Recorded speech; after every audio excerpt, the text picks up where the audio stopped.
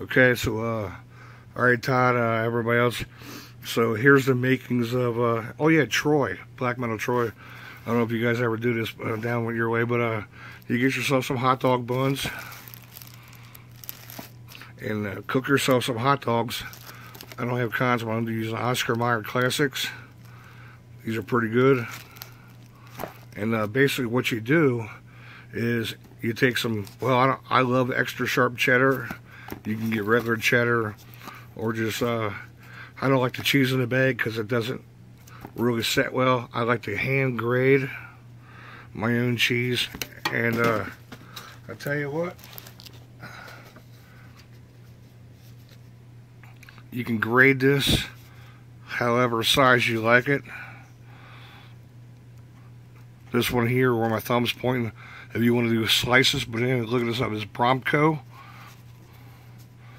That's the uh, bigger slices, but anyway, chili cheese dogs, cheese conies, Cincinnati style.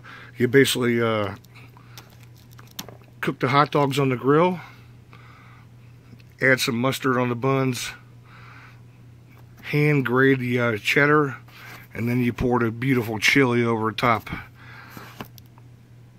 So it goes bun, mustard on the bottom, hot dog, chili, cheese, or you can put the cheese before the chili. It doesn't, well, it's, it's good to put the chili and then the cheese on top. It doesn't really, however you like it, but man, it's so delicious this way.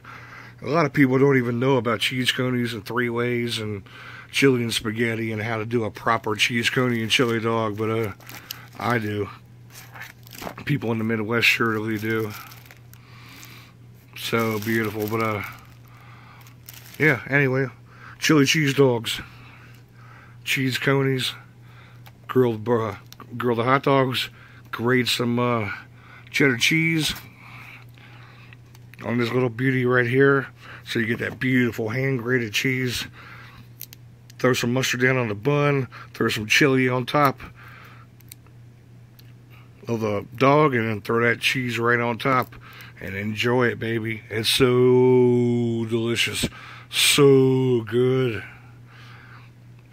Hand grating the uh, cheese on that Gold Star chili front with the hand grated hot dog buns and mustard.